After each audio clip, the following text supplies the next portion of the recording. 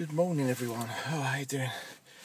It's oh, 20 to 10 on a Saturday morning. Um, I've just finished a workout going to the gym. Um, got in there at 8 a.m. I think that's the earliest I've ever got into a gym. So, new start, new me, and uh, actually quite enjoyed it actually. So um, I might consider um, going in first thing when um, you my girlfriend, I drop my girlfriend at work. Obviously, I'd like to have a job, so I don't need to be, um, you know, I won't be able to do it all the time. But just sort of dragging myself down here. I'm not, I'm not dragging myself down. I actually look forward to it. But I literally just, uh, my girlfriend's gone for a, um, uh, a dress fitting. She's a maid of honour at one of her friends' weddings next year, so um, she's had to go to uh, to Luton. It's about 40, no, not 40 minutes, about 25 minutes away from me on the train. Uh, not from here, sorry, from London like, into London. She's had to go to King's Cross, so just over an hour, I suppose. But I just dropped off this morning. She had to get a train at uh, seven fifty three. So I thought, whilst I'm doing that, I'll head um, straight into the uh, straight into the gym. Um,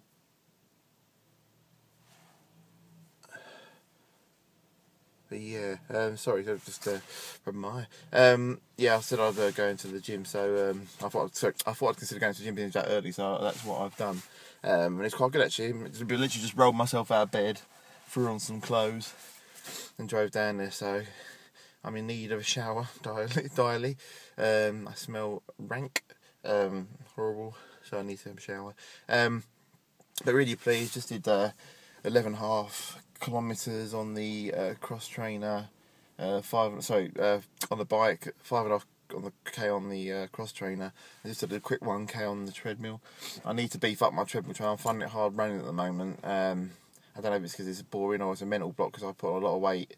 Um, and I know obviously bringing the weight down will help because it's obviously putting me down like an anchor when I try to run. So, um, but being I'm starting marathon training next week, I can't see myself sticking to the plan as rigidly as I want to because I think I'll have to walk some some things as well. So, but I'll be getting fit regardless, and it'll bring my weight down, and I will beat my uh, previous marathon time, the five hours definitely.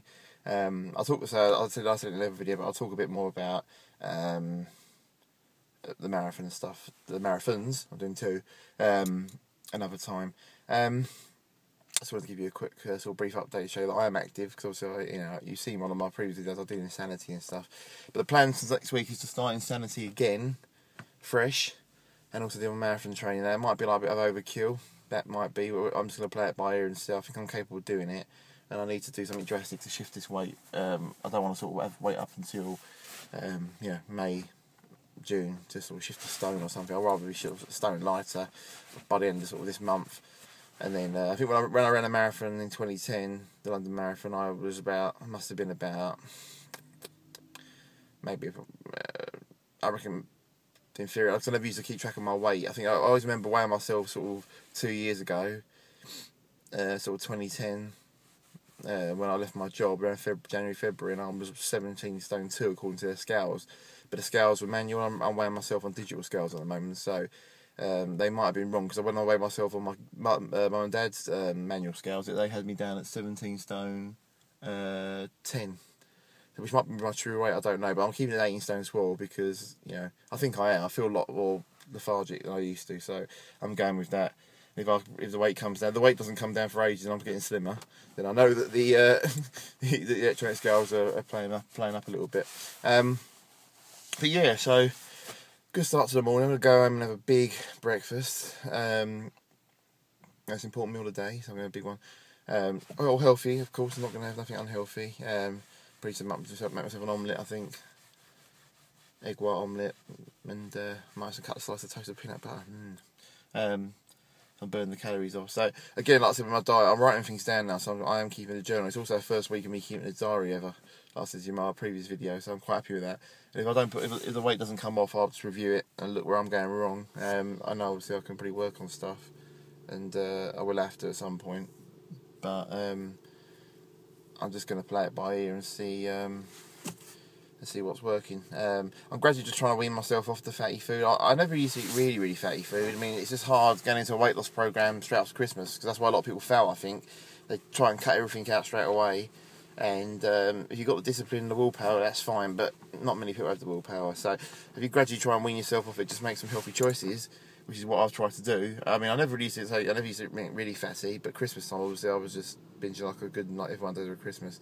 Um, sweets and all sorts of stuff. So, um, you know, it's um, it's manageable. Um, but before Christmas, I you know, me and my girlfriend kind of had healthy sort of.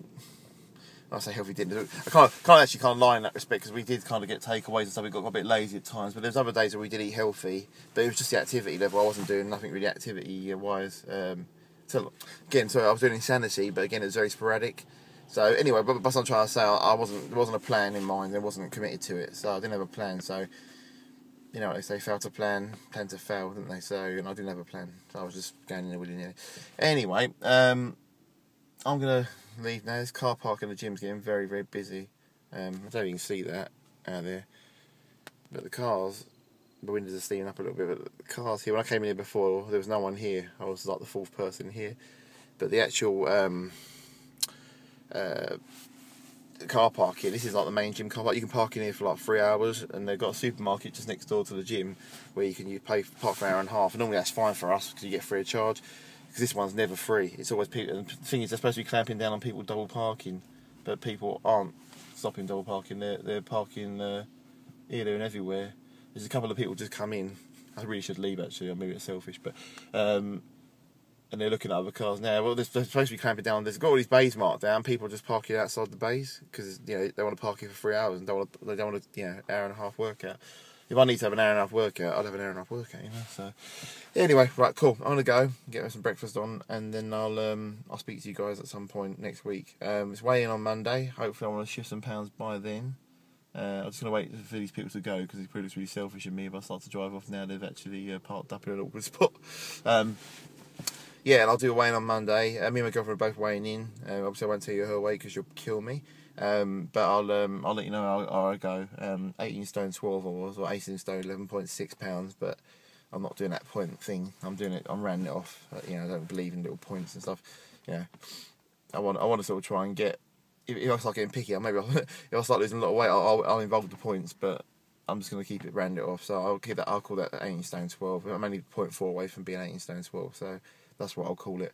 Um, yeah. So hopefully I'm aiming for a 12 uh, 12 pound loss this month. So if I can make a significant dent in that, uh, maybe lose five or six pounds. Hopefully, I know it's a bit ambitious. Three pounds, four pounds I'll accept, but if I can, and that'd be fine.